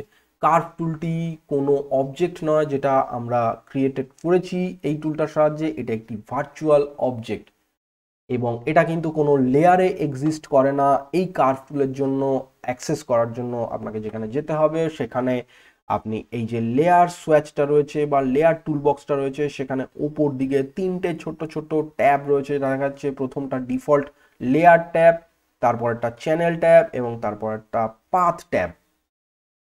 এবং এই পাথ ট্যাবে গিয়ে আপনি ক্লিক করে পাথ টুল বক্সটাকে অ্যাক্টিভেট করতে পারেন এবং এখানে দেখুন আননেমড বলে একটি নতুন লেয়ার তৈরি হয়েছে। এই পাথ ট্যাবের লেয়ারের মধ্যেই কিন্তু আপনাদের এই পাথ অবজেক্টটা এক্সিস্ট করছে। সেটা আমাদের ডিফল্ট ইমেজ লেয়ারে কোথাও কিন্তু এই পাথটা এক্সিস্ট করে না। সেই কারণে ডিফল্ট লেয়ারের সঙ্গে পাথ টুলের সেরকম কোনো রিলেশন নেই। ডিফল্ট ইমেজের যে কোনো লেয়ারের উপরে আমি সেম পাথ টুলের কাজ করতে পারি। এখানে যে কোনো লেয়ারের উপরেই করা যাবে। পাথ টুলের যে লেয়ার পাথ টুল শুধুমাত্র সেই লেয়ারেই এক্সিস্ট করে। এবং আপনি অটোমেটিক্যালি দেখতে পাচ্ছেন যে এখানেও ইনিশিয়ালি দুটো বাটন রয়েছে। যেরকম লেয়ারে যেরকম দুটো বাটন থাকে, একটা ভিজিবিলিটি বাটন যেটা ডিফল্ট অ্যাক্টিভেট অবস্থা রয়েছে। পাথ টুলটা আমরা ক্রিয়েট করেছি পাথ শেপটা ড্র করেছি, কিন্তু এখানে লেয়ারের দুটো বাটনের প্রথমটা ভিজিবিলিটি বাটন এবং সেটা কিন্তু বাই ডিফল্ট ডিঅ্যাক্টিভেট রয়েছে। অর্থাৎ এই মুহূর্তে যখন আমরা পাথটা ক্রিয়েশন প্রসেসে রয়েছি, আমরা পাথটাকে দেখতে পাচ্ছি, কিন্তু যেই মুহূর্তে আমরা অন্য কোনো টুল অ্যাক্সেস করব পাথটা ডিসঅ্যাপিয়ার হয়ে যাবে ডিসঅ্যাপিয়ার হবে না। পাথটার যেহেতু ডিফল্ট ভিজিবিলিটি ডিঅ্যাক্টিভেট করা রয়েছে পাথটা ইনভিজিবল হয়ে যাবে। আমরা এখান থেকে গিয়ে ভিজিবিলিটি অন অফ করার মাধ্যমে এই পাথটাকে আবার পেতে পারি। যেরকম মনে করুন, আমি এখান থেকে মুভ টুলটি অ্যাক্সেস করলাম। দেখুন, আমাদের ডকুমেন্ট থেকে পাথ টুলটি এবং পাথ ক্রিয়েটেড শেপটি ডিসঅ্যাপিয়ার হয়ে গেল এবং এখানে সিম্পলি আমি ভিজিবিলিটি অন করার মাধ্যমে আবার আমি পাথ শেপটাকে আবার পেয়ে যাচ্ছি স্ক্রিনের মধ্যে পাথ শেপটা ভিজিবল হয়ে গেছে এবং এখন যদি আমি পাথ টুলটাকে অ্যাক্সেস করে এই পাথ শেপের উপরে ক্লিক করি, আপনারা দেখতে পাচ্ছেন ঠিক আগের নোটগুলোই এক্সিস্ট করছে এবং আগের যেরকম হ্যান্ডেল এবং কার্ভেচার ক্রিয়েট হয়েছে, সমস্ত কিছু একই রকম রয়েছে। এবং এখন যদি আমি অন্য কোনো টুল অ্যাক্সেস করি পাথ টুলটা কিন্তু ডিসঅ্যাপিয়ার হচ্ছে না বা পাথ লাইন ক্রিয়েটেড শেপটাও ডিসঅ্যাপিয়ার হচ্ছে না, যেহেতু আমি পাথ ট্যাবে গিয়ে এর ভিজিবিলিটিটাকে অন করে রেখেছি। এখান থেকে সিম্পলি আমরা পাথ টুলটাকে ডিলিট করে দিতে পারি। এই পাথ শেপের উপরে গিয়ে আমরা সিম্পলি এখান থেকে ডিলিট পাথ যদি করি, তাহলে পাথ টুল দিয়ে ক্রিয়েটেড শেপটা যে লেয়ারে ও ক্রিয়েট করেছিল, সেই লেয়ার শুদ্ধ শেপটাকে ও ডিলিট করে দেবে। প্রত্যেকবার আপনারা যখনই পাথ টুল দিয়ে নতুন কোনো পাথ শেপ ক্রিয়েট করবেন, ও প্রত্যেকটা অবজেক্টের জন্য অটোমেটিক্যালি একটা একটা করে পাথ টুল বক্সে লেয়ার সেগমেন্ট ও তৈরি করে নেবে। আপনারা নিজেদের নিজেদের সুবিধার জন্য ওই পাথ লেয়ার সেগমেন্টকে রিনেম করে নিজেদের পছন্দ মতো নাম দিয়েও রাখতে পারেন এবং ড্রয়িংয়ে যখন প্রজেক্টটা সেভ করবেন, সেই প্রজেক্ট সেভের সাথে কিন্তু পাথ টুলগুলোও পাথ টুল বক্সে লেয়ারগুলো এক্সিস্ট করে যাবে, ঠিক যেরকম ইমেজ লেয়ার এক্সিস্ট করে যায়। প্রসঙ্গত বলে রাখি, যখন ফাইনালি আপনারা জেপিজি ফরম্যাটে ইমেজটাকে এক্সপোর্ট করে দেবেন, তারপরে কিন্তু আর তার মধ্যে যেরকম কোনোভাবে কোনো লেয়ারের ইনফরমেশনও এক্সিস্ট করে না ইমেজ লেয়ার সেরকম কোনো পাথ টু লেয়ারেরও ইনফরমেশন আর এক্সিস্ট করবে না। তাহলে দর্শক বন্ধুরা, আরেকটা কাজ আমরা দেখে নিই, যেটা একটু আগে আমরা ডিসকাস করছিলাম নোট হ্যান্ডেলের ব্যবহার এবং নোট হ্যান্ডেলের ব্যবহারের সাহায্যে আমরা পাথ টুল দিয়ে কীভাবে কমপ্লেক্স কার্ভেচার ক্রিয়েট করতে পারি। আশা করি দর্শক বন্ধুদের একটা সম্যক ধারণা এই মুহূর্তে হয়ে গেছে পাথ টুল নিয়ে। আমরা আরেকটু অ্যাডভান্স প্রসেসে চলে যাচ্ছি। এখানে আমরা পাথ টুলটি আরেকবার অ্যাক্টিভেট করে নিলাম। ডিজাইন মোডেই রয়েছি এবং প্রথমে আমি পাঁচ সেগমেন্ট ড্র করা শুরু করলাম। প্রথম পাঁচ সেগমেন্টটা স্ট্রেট লাইন হলো এবং তারপরের পাঁচ সেগমেন্টটা আমি শুরু থেকেই কার্ভেচার পাঁচ সেগমেন্ট হিসেবে ক্রিয়েট করতে পারি এবং এই এক্সিস্টিংগুলোকেও আমরা পরবর্তী ক্ষেত্রে কার্ভেচার অ্যাড করতে পারি, সেটা আমি আপনাদেরকে আগেই দেখিয়েছি। যেটা আমি ডিসকাস করছিলাম যে প্রত্যেকটা নোডের একটি ফরওয়ার্ড সাইড রয়েছে এবং একটি ব্যাকওয়ার্ড সাইড রয়েছে এবং যে দুটো হ্যান্ডেল ক্রিয়েট হবে, সেই হ্যান্ডেলগুলোকেও আমরা এইভাবে ডিফারেন্সিয়েট করতে পারি, একটি ফরওয়ার্ড হ্যান্ডেল এবং একটি ব্যাকওয়ার্ড হ্যান্ডেল ফরওয়ার্ড হ্যান্ডেলটি যে নোডের ফরওয়ার্ড সাইড রয়েছে, তার সামনের দিকের কার্ভেচারকে অ্যাফেক্ট করবে এবং ব্যাকওয়ার্ড হ্যান্ডেল সেই নোডের ব্যাক সাইডে যে সেগমেন্টটি রয়েছে, সেই সেগমেন্টের কার্ভেচারকে অ্যাফেক্ট করবে বা ম্যানিপুলেট করবে। কাজটা আমরা দেখে নিই। যদি আমাদের পরবর্তী নোডেই কার্ভেচার অ্যাড করতে হয়, তাহলে সিম্পলি নোটটাকে ক্লিক করে আমরা ক্রিয়েট করব না। ক্লিক করে মাউস বাটনটাকে হোল্ড করে ড্র্যাগ করে যদি আমরা একটু মুভ করি, আমরা দেখতে পাবো যে সেখানে নোডের সাথে সাথে অটোমেটিক্যালি দুটো ফরওয়ার্ড হ্যান্ডেল এবং ব্যাকওয়ার্ড হ্যান্ডেল ক্রিয়েট হয়ে গেল। কোনটা ফরওয়ার্ড হ্যান্ডেল এবং কোনটা ব্যাকওয়ার্ড হ্যান্ডেল আপনারা এরকমভাবে ঘুরিয়ে হয়তো পজিশনটাকে চেঞ্জ করে দিতে পারেন। সেক্ষেত্রে আপনাদের মনে হয়ে গেল যে এটা ফরওয়ার্ড বা ওটা ব্যাকওয়ার্ড হ্যান্ডেল হয়ে গেল। একেবারেই না। দেখতে পাবেন যে যে লাস্ট সেগমেন্টের সঙ্গে নিউলি ক্রিয়েটেড সেগমেন্টের মধ্যে যে লাইন সেগমেন্ট বা কার্ভেচার সেগমেন্টটা রয়েছে, সেটার সঙ্গে ঠিক অ্যাডজাসেন্ট ভাবে যে হ্যান্ডেলটা মুভ করছে, সেটাই হচ্ছে ব্যাকওয়ার্ড হ্যান্ডেল কারণ সে এই নোডের ব্যাকওয়ার্ড সেগমেন্টটাকে কন্ট্রোল করছে এবং যে হ্যান্ডেলটা আমরা এই মুহূর্তে মুভ করাচ্ছি, সেটা কিন্তু ফরওয়ার্ড সেগমেন্টের হ্যান্ডেল ফরওয়ার্ড সেগমেন্টটা আমাদের এখনও ক্রিয়েটেড হয়নি, সেই জন্য ফরওয়ার্ড হ্যান্ডেলটা এই মুহূর্তে সেভাবে ফরওয়ার্ড সেগমেন্টটাকে অ্যাফেক্ট করতে পারছে না। যখন আমরা পরবর্তী নোটটা ক্রিয়েট করব, তখন কিন্তু এই ফরওয়ার্ড সেগমেন্টটা সেটার কার্ভেচার ক্রিয়েশনেও একটা গুরুত্বপূর্ণ ভূমিকা নেবে। আপনি মাউস কিটাকে হোল্ড অ্যান্ড ড্র্যাক করার মাধ্যমে এই হ্যান্ডেলগুলোর সাইজ বা লেংথ যেটাই বলুন সেটাকে ছোট বড় করতে পারেন এইভাবে এবং সেটা ছোট বড় করার মাধ্যমে কিন্তু কার্ভেচারের কার্ভটাকেও আমরা ম্যানিপুলেট করতে পারি। এইভাবে যদি আমাদের খুব ছোট স্মল কার্ভেচার দরকার হয়, তাহলে আমরা হ্যান্ডেলটাকেও সেরকম ছোটোভাবে ক্রিয়েট করব এবং হ্যান্ডেলটাকে রোটেট করার মাধ্যমেও আপনি কার্ভেচারকে ম্যানিপুলেট করতে পারেন এবং যদি বড় কার্ভেচার দরকার হয় ডিপ কার্ভেচার দরকার হয়, তাহলে আমরা হ্যান্ডেলটাকে আরও বেশি লেংদি করব এবং হ্যান্ডেলটাকে রোটেট করার মাধ্যমে কার্ভেচারটাকে কন্ট্রোল করা যায়। এইভাবে আপনি যখন মাউস ক্লিকটাকে রিলিজ করে দেবেন, তখনও আপনি এর পরবর্তী ক্ষেত্রেও হ্যান্ডেল ম্যানিপুলেট করার মাধ্যমে আপনি কার্ভেচারটাকে ফার্দার এডিট করতে পারেন। মনে রাখবেন যে আপনি যখনই ডিস্টিংগুইশ করতে পারবেন কোনটা ফরওয়ার্ড হ্যান্ডেল এবং কোনটা ব্যাকওয়ার্ড হ্যান্ডেল এবং কোনটা কোন কার্ভেচারকে অ্যাফেক্ট করছে, তখনই আপনি এই পাথ টুল ব্যবহার করতে আরও বেশি সমর্থ হয়ে উঠবেন। এখানে দর্শক বন্ধুদেরকে বলে রাখি পাথ টুলের ব্যবহার সম্পূর্ণভাবে নিজেদের নিজেদের দক্ষতার উপরে নির্ভর করে। আপনারা যত এই টুলটা নিয়ে কাজ করবেন, যত এই টুলটাকে ব্যবহার করবেন এই টুলটার মধ্যে আপনাদের দক্ষতা এবং কাজের ক্ষমতা অবশ্যই বৃদ্ধি পাবে এবং এই টুলটার সমস্ত কিছু ব্যবহার সম্পর্কে ধারণা আপনাদেরকে আরও বেশিভাবে পরিষ্কার হবে। আমি এনকারেজ করব দর্শক বন্ধুদেরকে বেশি করে পাথ টুল ব্যবহার করার জন্য। যে সমস্ত ক্ষেত্রে আমরা পাথ টুল ব্যবহার করতে পারি, সেটা আমি শুরুতেই ডিসকাশন করলাম। এখন বুঝতেই পারছেন যে এই দিকের যে হ্যান্ডেলটি এটি ব্যাকওয়ার্ড হ্যান্ডেল কারণ এটা ব্যাকওয়ার্ড সেগমেন্টের সঙ্গে অ্যাডজাসেন্ট রয়েছে।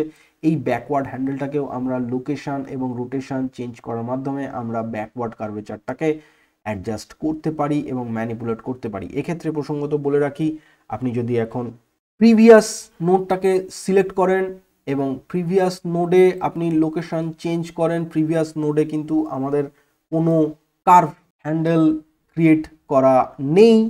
কার্ভ হ্যান্ডেল যদি এখানেও আমরা অ্যাড করতে পারি এবং সেই হ্যান্ডেলটাও কিন্তু অবশ্যইভাবে কার্ভেচারটাকে ম্যানিপুলেট করার ক্ষেত্রে সাহায্য করবে। প্রথমেই আমরা যেরকমভাবে আগেও দেখিয়েছি যে কন্ট্রোল কি প্রেস করে এডিট মোডে গিয়ে এই নোটটা থেকে আপনি দুটো হ্যান্ডেল জেনারেট করতে পারেন। প্রথমে যে হ্যান্ডেলটা জেনারেট হবে সেটা সব সময় ব্যাকওয়ার্ড কার্ভেচার হ্যান্ডেলই হবে এবং তারপরে যে হ্যান্ডেলটা জেনারেট হবে সেটা ফরওয়ার্ড কার্ভেচার জেনারেট হবে।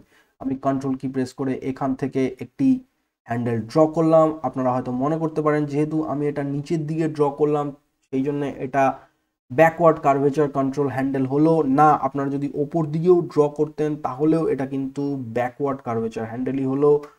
যে নোডের মধ্যে হ্যান্ডেল ক্রিয়েট করা নেই, প্রথমেই যখন আপনি এডিট মোডে গিয়ে সেখানে হ্যান্ডেল ক্রিয়েট করবেন, সেটা প্রথমে ব্যাকওয়ার্ড কার্ভেচার হ্যান্ডেলই হবে। সব ক্ষেত্রে আপনারা প্র্যাকটিস করার সময় আমার কথাটা মিলিয়ে নিতে পারেন।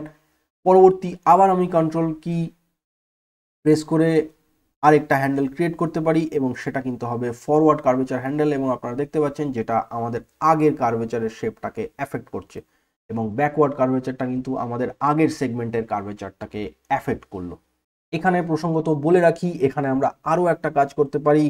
আমরা এই হ্যান্ডেলের মাধ্যমে দুটো সেগমেন্টে যেভাবে আমরা কার্ভেচার অ্যাড করলাম কার্ভেচারকে কন্ট্রোল করতে পারি, আমরা আবার চেষ্টা করে সেই দুটো সেগমেন্টকে আমরা স্ট্রেট লাইন ফরমেশনেও আবার নিয়ে আসতে পারি। সেখানে আপনি খেয়াল করবেন যে যে নোটটা আপনি সিলেক্টেড অবস্থায় আছেন, তার যে সেগমেন্টের কার্ভেচারটাকে আপনি কন্ট্রোল করতে চাইছেন, সেই হ্যান্ডেলটাকে যদি আপনি একদম মিনিমাইজ করে দেন এবং হ্যান্ডেলটাকে একদম আপনি নোডের ওপরে নিয়ে আসেন মুভ করার মাধ্যমে এবং তার পরবর্তী ক্রিয়েটেড নোডেরও ব্যাকওয়ার্ড হ্যান্ডেলটাকে যেটা ওই সেগমেন্টের কার্ভেচারটাকে অ্যাফেক্ট করছে, সেটাকেও যদি আপনি একদম ছোট করে সেই নোডের ওপরে নিয়ে যান, তাহলে দেখতে পেলেন যে দুটো নোডের মধ্যে যে কার্ভেচারটা ক্রিয়েট হয়েছিল, সেই কার্ভেচারটা প্রায় মিনিমাইজ হয়ে গিয়ে দুটো নোডের মধ্যে এখন সেগমেন্টটা প্রায় স্ট্রেট লাইনিং কনভার্ট হয়ে গেছে। প্রসঙ্গত বলে রাখি, এখানে যদি অন্য কোনো নোড সিলেক্টেড অবস্থায় থাকে এবং তারপরে যদি আপনি ডকুমেন্টের মধ্যে অন্য কোথাও ক্লিক করে দেন, তাহলে কিন্তু আগের পাথ সেগমেন্টের সঙ্গে কোনো রকম কানেক্টেড পাথ আর তৈরি হবে না। ইন্টারমিডিয়েট নোট সিলেক্টেড অবস্থায় আপনারা যদি বাইরে কোথাও ক্রিয়েট করে দেন, তাহলে কিন্তু সফটওয়্যার একটা নতুন পাথ সেগমেন্ট ক্রিয়েট করবে, অর্থাৎ একটা নতুন নোট ক্রিয়েট করে দেবে। সেক্ষেত্রে মাঝে মাঝে এরকম ভুল আমাদের হয় ব্যাক স্পেস কি প্রেস করে সেই নোটটাকে আপনি ডিলিট করে দেবেন সিলেক্টেড অবস্থা।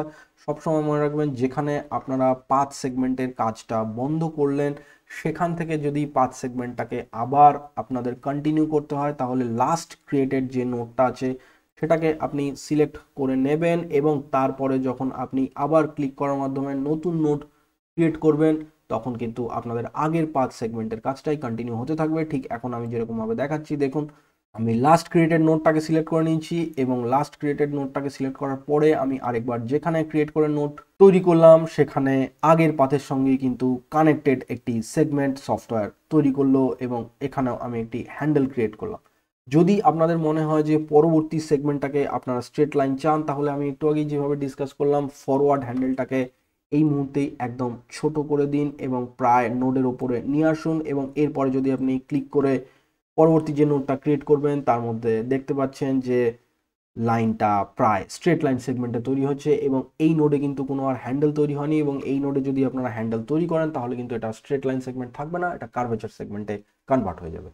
দর্শক বন্ধুরা, এগুলো ছিল আমাদের কিছু বেসিক অপারেশন এই পাথ টুলের সাহায্যে এবং কিছু বেসিক ইউজেজ এবং যেটা আমরা এই পাথ টুলটাকে ব্যবহার করে ক্রিয়েট করতে পারি, বিভিন্ন রকমের জিওমেট্রিক্যাল শেপস যেরকম আমি এই পাথ টুলটিকে ডিলিট করে দিচ্ছি এবং আরেকটি নতুন পাথ টুলটি সিলেক্টেড অবস্থায় তৈরি করছি। আমরা এখানে রেক্ট্যাঙ্গেল ক্রিয়েট করতে পারি স্কোয়ার ক্রিয়েট করতে পারি, একদম অ্যাকিউরেট না হলেও আমরা এই ধরনের শেপ ক্রিয়েট করতে পারি স্টার ক্রিয়েট করতে পারি সিম্পলি এইভাবে ক্লিক করার মাধ্যমে আমরা রেক্ট্যাঙ্গেল বা এই ধরনের কোনো শেপ ক্রিয়েট করতে পারি এবং আমরা এই রকমভাবে কোনো স্কোয়ার শেপ ক্রিয়েট করতে পারি। নিয়ারলি স্কোয়ার শেপ বা রম্বাস আপনি যেটাই বলুন না কেন, সেরকম শেপও আমরা ক্রিয়েট করতে পারি বা ডায়মন্ড শেপ আমরা ক্রিয়েট করতে পারি। আমরা সিম্পলি স্টার শেপ ক্রিয়েট করতে পারি। এবং আমরা একটু আগে যেরকম দেখালাম, আমরা কমপ্লেক্স রিজিয়ন শেপও ক্রিয়েট করতে পারি এবং এর মাধ্যমে আমরা যেভাবে শেপটা ক্রিয়েট করতে পারি, আমরা এইভাবে পাথ টুলের মাধ্যমে যে শেপটা আমরা ক্রিয়েট করছি, সেই শেপে আমরা কি কি ইফেক্ট ইউজ করতে পারি সেটাও আমি আপনাদেরকে দেখাবো। এই পাথ টুলের শেপগুলোকে ক্রিয়েট করার পরে আমরা আউটলাইনটাকে আমরা হাইলাইট করতে পারি অথবা পুরো পাথ টুল দিয়ে যে রিজিয়নটা আমরা ক্রিয়েট করেছি, আমরা সেটাও পুরোপুরিভাবে কালার দিয়ে ফিল করতে পারি যাতে করে শেপ তৈরি হয়। আপনি ইমেজ লেয়ার মেনু অপশানে গিয়ে নতুন নতুন ইমেজ লেয়ার ক্রিয়েট করে যদি আপনি প্রত্যেকটা লেয়ার সিলেক্ট করে আপনি সেই সমস্ত লেয়ারে পাথ টুলের সাহায্যে আপনি পাথটাকে ফিল করেন বা স্ট্রোক ইউজ করেন, তাহলে সেই সমস্ত লেয়ারে সেই রকম শেপ ক্রিয়েট হয়ে যাবে। এটা বেসিক অপারেশন আমি বলে দিলাম, হয়তো আপনারা অনেকেই এতক্ষণে বুঝতেও পেরে গেছেন এইভাবে বিভিন্ন শেপ আমরা ক্রিয়েট করতে পারি। দেখে নিই এই শেপগুলোকে আমরা কীভাবে ফিল করব বা আউটলাইন করব। এখানে আরও একটা ব্যাপার আমি বলে দিই, আপনারা পাথ টুলটাকে আপনারা সিম্পলি ট্রান্সফর্ম বা সিলেকশনে কনভার্ট করতে পারেন। পাথ টুলটা কমপ্লিট হয়ে যাওয়ার পরে এখানে যে বাটনগুলো নিয়ে আমরা কথা বলছিলাম, এখানে সিলেকশন ফ্রম পাথ বলে বাটনটা এখন এই মুহূর্তে অ্যাক্টিভেট রয়েছে। আপনারা যদি সিম্পলি সিলেকশন ফ্রম পাথ বলে বাটনটাকে ক্লিক করেন। দেখুন, আমি পাঁচ টুলের সাহায্যে যেই যেই শেপগুলো ক্রিয়েট করেছি, সেই প্রত্যেকটা শেপ এখন সিলেকশানে কনভার্ট হয়ে গেছে। এবং এই সিলেকশনগুলো আপনারা প্রত্যেকবার ফিরে পেতে পারেন, কারণ যেহেতু পাথ টুলটা আমাদের পাথ লেয়ারের মধ্যে নিজেই একটা ভার্চুয়াল অবজেক্ট হিসেবে থেকে যায় এবং এই পাথ শেপগুলো ব্যবহার করে আপনি বারবার কিন্তু এই সিলেকশনগুলো আপনাদের ইমেজ ম্যানিপুলেশনের ক্ষেত্রে ব্যবহার করতে পারবেন। সিম্পলি যদি আমরা ফিল পাথ টুলটি ব্যবহার করি, আমি সিলেকশনটা তুলে দিচ্ছি সিলেক্ট মেনুতে গিয়ে সিলেক্ট নান করে দিচ্ছি পাথগুলো এখনও এক্সিস্ট করছে। ফিল পাথ ব্যবহার করলে আমাদের যে ফোরগ্রাউন্ড কালারটা থাকবে, সেই ফোরগ্রাউন্ড কালার দিয়ে সফটওয়্যার এগুলোকে ফিল করে দেবে। আমি ফিল পাথ অপশানটা যদি ক্লিক করি, তাহলে এরকম একটি উইন্ডো আমাদের সামনে খুলে যাচ্ছে, যেখানে আমাদের সামনে দুটো অপশন রয়েছে সলিড কালার প্যাটার্ন এবং অ্যান্টি এলিয়াজিং বলে অপশানটি রয়েছে। সলিড কালার মানে যেটা আমাদের ফোর গ্রাউন্ড কালার থাকবে, সেই ফোর গ্রাউন্ড কালার দিয়ে আমরা যে কটা পাথ শেপ ক্রিয়েট করেছি সফটওয়্যার সব কটা পাথ শেপকে ফিল করে দেবে। আমি ফিল ক্রিয়েট করলাম, আপনারা দেখতে পাচ্ছেন এই ভাবে আমরা বিভিন্ন শেপও ক্রিয়েট করতে পারি পাথের সাহায্যে। বুঝতেই পেরে গেছেন যে সেখানে প্যাটার্ন বাটনটির কাজ হচ্ছে, যে প্যাটার্নগুলো ডিফল্ট গিম সফটওয়্যার মধ্যে প্রিসেট করে দেওয়া আছে, সেই প্যাটার্ন দিয়ে আমরা এই পাথগুলোকে ফিল করতে পারি। সেক্ষেত্রেও নতুন রকমের একটা ইফেক্ট তৈরি হবে। স্ট্রোক পাথের ব্যবহারটাও আমরা দেখে নিই। এটাকে আমি এডিট মেনুতে গিয়ে আন্ডু ফিল পাথ করে দিচ্ছি। পাথগুলো এখনও স্টিল এক্সিস্ট করছে। স্ট্রোক পাথে আপনি যদি যান ক্লিক করার সাথে সাথে একটি নতুন উইন্ডো আমাদের সামনে খুলে যাবে। এই উইন্ডোটা ব্যবহার করে ঠিক পাথ শেপের আউটলাইন বরাবর আমরা বিভিন্ন স্ট্রোক লাইন ক্রিয়েট করতে পারি এবং সেটাও আমরা দুভাবে করতে পারি। এক স্ট্রোক লাইন সলিড কালার এবং এটা সলিড কালার আমাদের যেটা ফোরগ্রাউন্ড কালার থাকবে সেই কালারটা ব্যবহার করেই পাথ ক্রিয়েট করবে অথবা দুটো অপশান রয়েছে, একটা স্ট্রোক লাইন একটা stroke with a paint tool stroke with a paint টুলের ক্ষেত্রে সফটওয়্যার আপনাদের যে ব্রাশ মেনু রয়েছে গেম টুলের মধ্যে সেই ব্রাশ মেনুর ডিফারেন্ট ব্রাশ শেপ যদি আপনি সিলেক্ট করে রাখেন, সেই ব্রাশ শেপের মতো করে এই পাথ টুল দিয়ে ক্রিয়েটেড শেপগুলোকে ফোরগ্রাউন্ড কালার দিয়ে আউটলাইন তৈরি করে দেবে, সেটাও একটা অসাধারণ ইফেক্ট হয়। আমি প্রথমে স্ট্রোক লাইন অপশনটা দেখাচ্ছি, এখানে সলিড কালারই রেখে দিচ্ছি। এখানে লাইন উইথ কত চওড়া বা মোটা হবে সেটা আপনি পিক্সেল ভ্যালু বা অন্য কিছু ভ্যালু ইউনিট সেট করে সেখানে এই ভ্যালুটাকে ম্যানিপুলেট করার মাধ্যমে সেট করতে পারেন। আমি এখান থেকে এটাকে তিন করে দিচ্ছি পিক্সেল ভ্যালু এবং আমি যদি স্ট্রোক ক্লিক করি এবং এখন যদি আমি মুভ বাটনটা নিয়ে নিই, পাতগুলো ডিজাপিয়ার হয়ে গেল কিন্তু আপনি দেখতে পেলেন যে আমাদের শেপগুলো কি সুন্দর আউটলাইন হয়ে গেছে। আপনি পিক্সেল ভ্যালুটাকে কমিয়ে বাড়িয়ে এই লাইনগুলোর কতটা বেশি থিক করবেন বা থিন করবেন থিকনেসটাকে অ্যাডজাস্ট করতেই পারেন, নিশ্চয়ই বুঝতে পেরে গেছেন। কাজটা ভীষণ ভালো এবং এই দিয়ে আমরা বিভিন্ন রকম ইমেজ ম্যানিপুলেশন ইফেক্টও ক্রিয়েট করতে পারি। পাথ টুল দিয়ে আমরা এই রকমভাবেও কাজ করতে পারি। দর্শক বন্ধুরা পাথ টুল নিয়ে বিস্তারিত আলোচনা করে দিলাম। ভিডিওটা একটু লেংদি নিশ্চয়ই হলো, কিন্তু যারা এতক্ষণ নিশ্চয়ই ভিডিওটা ফলো করছেন বিগিনারদের কথাই আমি বলতে চাইছি, তারা নিশ্চয়ই আমার ধারণা পাথ টুল সম্পর্ক একটা সম্যক ধারণা পেয়ে গেছেন।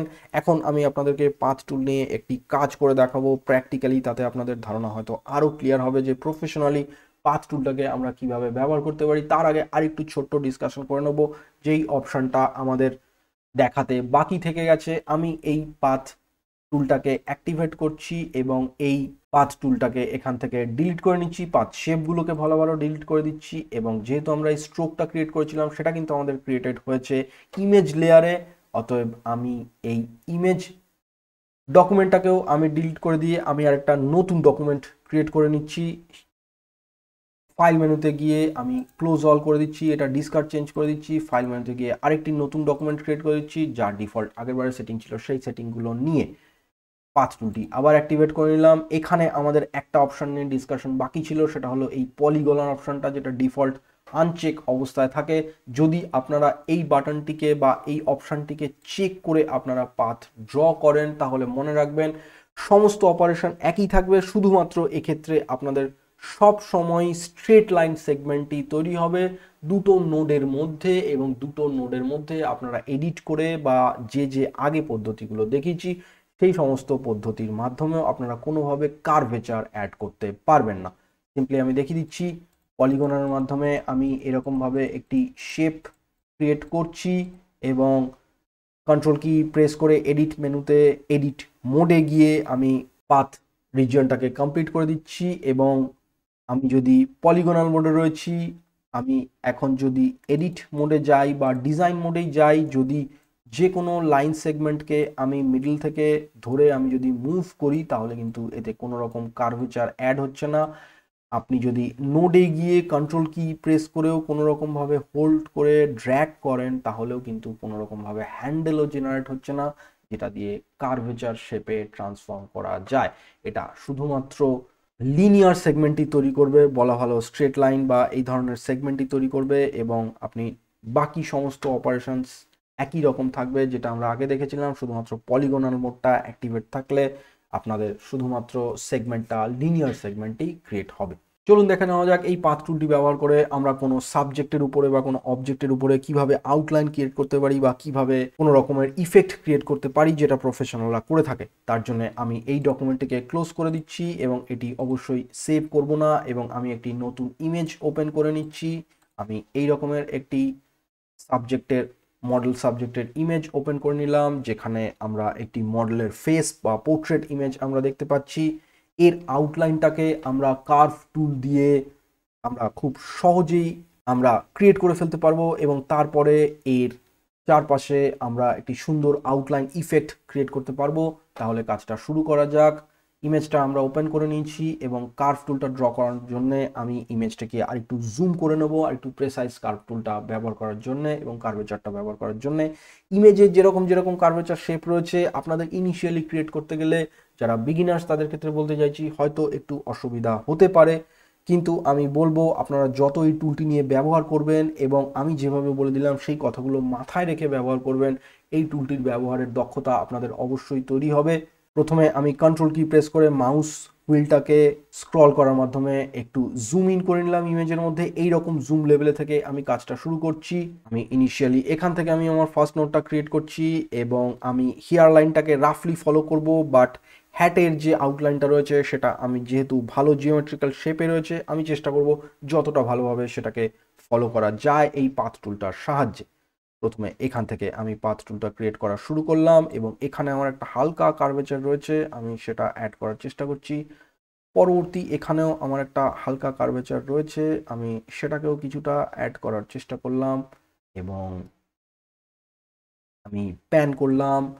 প্যান করে এখানেও আমার একটু হালকা কার্ভেচার রয়েছে, সেটাকে আমি এইভাবে অ্যাডজাস্ট করার চেষ্টা করলাম। আপনাকে কার্ভেচারগুলোকে রিড করা বুঝতে হবে এবং পরবর্তী নোটটা আপনি কোথায় ক্রিয়েট করবেন, যত ভালো আপনি কার্ভেচার রিড করতে পারবেন, তার উপরেই সেটা ডিপেন্ড করছে। আমি পরবর্তী নোটটা এইখানে ক্রিয়েট করব এবং এই পুরো কার্ভেচারটা আমি একেবারে ম্যানেজ করার চেষ্টা করব। তার জন্য আমার এই নোটটার সাহায্যে সম্ভব হলো না। আমি আবার পরবর্তী নোটটাকে সিলেক্ট করে নেব এবং এর ফরওয়ার্ড হ্যান্ডেলটাকে আরেকটু ম্যানিপুলেট করার মাধ্যমে এইভাবে আমি কার্ভেচারটাকে একটু অ্যাডজাস্ট করে নিলাম। আমি এই নোটটাকেও আরেকটু অ্যাডজাস্ট করে নিচ্ছি এবং এর ব্যাকওয়ার্ড হ্যান্ডেলটাকেও আরেকটু অ্যাডজাস্ট করার মাধ্যমে এখানে আমি কার্ভেচারটাকে সেট করে নিলাম। আমি এই পাথটাই কন্টিনিউ করব সেই জন্য লাস্ট ক্রিয়েটেড নোটটাকে আমি আবার সিলেক্ট করে নিলাম এবং আমি পরবর্তী নোটটা ক্রিয়েট করছি। এই রকম জায়গা নাগাদ। দর্শক বন্ধুরা, আপনারা নিশ্চয়ই বুঝতে পেরে গেছেন যে আমরা কীভাবে এখন কাজটা করতে পারি? দেখতে পেলেন আমি ভুল করে বাইরে একটি নোট ক্রিয়েট করে ফেলেছি। আমি ব্যাকস্পেসের মাধ্যমে আমি সেটাকে ডিলিট করে দিলাম এবং পরবর্তী হ্যান্ডেলটা আমি এইভাবে একটু অ্যাডজাস্ট করে নিচ্ছি এবং এর ব্যাকওয়ার্ড হ্যান্ডেলটাকেও আমি এইভাবে একটু অ্যাডজাস্ট করার মাধ্যমে আমি কার্ভটাকে ক্রিয়েট করে ফেললাম। কি সুন্দরভাবে এখন কার্ভটা আমাদের আউটলাইনটাকে ম্যাচ করে গেল। দর্শক বন্ধুরা, এখন আমি ভিডিওটাকে একটু ফাস্ট ফরওয়ার্ড করে দিচ্ছি এবং আপনারা দেখতে থাকুন যে কার্ভ টুলটার সাহায্যে আমরা কীভাবে এই সাবজেক্টটার কত সুন্দরভাবে আউটলাইন ড্র করে ফেলতে পারি।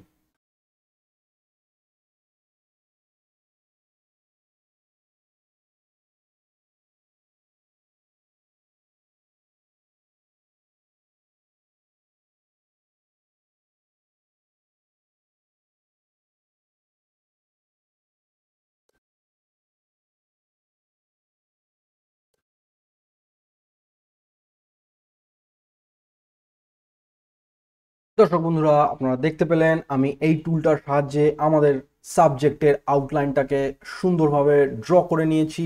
এখন যদি আমরা সিম্পলি এন্টার কি প্রেস করি অথবা এখানে সিলেকশন ফ্রম পাথ টুলটায় ক্লিক করি, তাহলে আমাদের এই পাথটা একটি সিলেকশনে কনভার্ট হয়ে যাবে এবং যেটা আমরা কনভার্ট করতে চাইছি, আমি সিম্পলি এন্টার কিটা প্রেস করছি।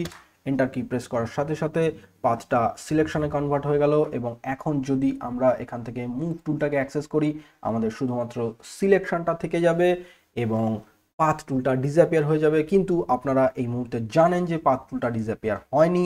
আমরা এই পাথ আউটলাইনটাকে এই প্রজেক্টের ক্ষেত্রে বারবার অ্যাক্সেস করতে পারি এই পাথ টুল বক্সে গিয়ে, যেখানে আমরা দেখতে পাচ্ছি যে যেখানে পাথ টুলটা এক্সিস্ট করছে এবং এর ভিজিবিলিটি বাই ডিফল্ট ডিঅ্যাক্টিভেট করা আছে। আমরা ইমেজ লেয়ার টুলবক্সে চলে এলাম। এখান থেকে আমি সিম্পলি ইমেজটাকে এডিট মেনুতে গিয়ে কাট করে ইমেজটাকে কাট করে দিচ্ছি। বলাই বাহুল্য যে ফটোগ্রাফটা বা ইমেজটা নিয়ে আপনারা কাজ করবেন, সেই ইমেজে আলফা চ্যানেল অ্যাড করে নেবেন। ইমেজটিকে যদি by default alpha channel add করা না থাকে ইমেজটিকে প্রজেক্টে ওপেন করার পরে লেয়ারে রাইট ক্লিক করে এখানে অ্যাড আলফা চ্যানেল বলে যে অপশনটা আছে, সেটাকে আলফা চ্যানেল ইমেজের মধ্যে অ্যাড করে নেবেন। আমার এখানে বাই ডিফল্ট অ্যাড করা থাকে, সেই জন্য অ্যাড আলফা চ্যানেল অপশনটি আমার এখানে ডিঅ্যাক্টিভেট অবস্থায় দেখাচ্ছে।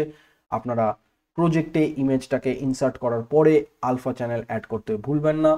সিলেকশনটা এখনও আমাদের রয়ে গেছে। আমি সিলেকশনটা এক্ষেত্রে তুলে দিচ্ছি। আমি পরেও সিলেকশনটা অ্যাক্সেস করতে পারব কীভাবে আপনারা জানেন, আমি এবং সেটা দেখিয়েও দেবো। আমাদের যে ইমেজটা আমি কাট করে তুলেছি, সেটা একটা নতুন লেয়ারে পেস্ট করব। এডিট মেনুতে গিয়ে পেস্ট অ্যাজ এবং সেখান থেকে নিউ লেয়ার ইন প্লেস করে নিলাম। আমাদের সাবজেক্টটা একটা নতুন লেয়ারে চলে গেল এবং ব্যাকগ্রাউন্ডটা আরেকটা লেয়ারে চলে গেল। এখন আমরা এই সাবজেক্টের আউটলাইনটাকে ইফেক্ট প্রোভাইড করতে পারি। আমরা সিম্পলি দুভাবে করতে পারি। আমরা এই মুহূর্তে সাবজেক্টটা যে লেয়ারে রয়েছে, সেই লেয়ারের আলফা চ্যানেল অ্যাড করা রয়েছে। আমরা রাইট ক্লিক করে আলফা টু সিলেকশন করলেও আমাদের একই রকম সিলেকশনটা আমরা ফেরত পেয়ে যাব। অথবা যদি আমাদের পাথ মেনু থেকে সিলেকশনটাকে ব্যাক করাতে হয়, তাহলে আমি এখান থেকে সিলেক্ট নান করে দিচ্ছি। সিম্পলি আমরা প্যাথ ট্যাবে চলে যাব এবং এখানে যে পাথ লেয়ারটা ক্রিয়েট হয়ে গেছে, সেখানে রাইট ক্লিক করব এবং এখান থেকে আমরা পাথ টু সিলেকশন যদি আমরা ক্লিক করি, দেখতে পেলেন একই সিলেকশনটা আমরা ব্যাক করে পেয়ে যাচ্ছি এবং এই পাথ টুল থেকে সিলেকশনটা আমরা বারবার অ্যাক্সেস করতে পারব। ইমেজ লেয়ারে চলে এলাম এবং এখানে আমরা যেটা ইউজ করব, সেটা আমরা স্ট্রোক পাথ করেও করতে পারতাম এবং এই একই কাজটা আমরা সিলেকশনের ওপরেও করতে পারব। তার জন্য আমি আগে একটা নিউ লেয়ার ক্রিয়েট করে নিচ্ছি। খেয়াল রাখব, এই নিউ লেয়ারটা যেন ফিল উইথ ট্রান্সপারেন্সি হয় সেই জন্য আমি ফিল উইথ হোয়াইটের বদলে ফিল উইথ ট্রান্সপারেন্সি করে নিচ্ছি। লেয়ারের নাম আপনি যা খুশি দিয়ে দিতে পারেন। নতুন লেয়ার যেটা আমি ক্রিয়েট করলাম, সেটা আমি আমাদের সাবজেক্টের যে লেয়ারটা আমি কাট করার মাধ্যমে ক্রিয়েট করেছিলাম, তার ঠিক নিচেই প্লেস করে দিচ্ছি। এবং এরপরে আমি চলে যাব এডিট মেনুতে যেখানে আমরা পেয়ে যাব স্ট্রোক সিলেকশন বলে অপশনটি এখান থেকে স্ট্রোকটাও আমরা ঠিক পাথের মতো করে সিলেক্ট করতে পারি, যেরমভাবে আমি একটু আগে দেখিয়েছি। তবে আমি এক্ষেত্রে স্ট্রোকটাকে সলিড কালার দিয়ে স্ট্রোক লাইন জেনারেট না করে আমি ব্রাশ দিয়ে জেনারেট করব। সেই জন্য আমি স্ট্রোক সিলেকশন অপশনটা এডিট মেনু থেকে নেওয়ার আগে আমি ব্রাশ সিলেকশন মোডে চলে গেলাম এবং ব্রাশ টুলটাকে সিলেক্ট করলাম।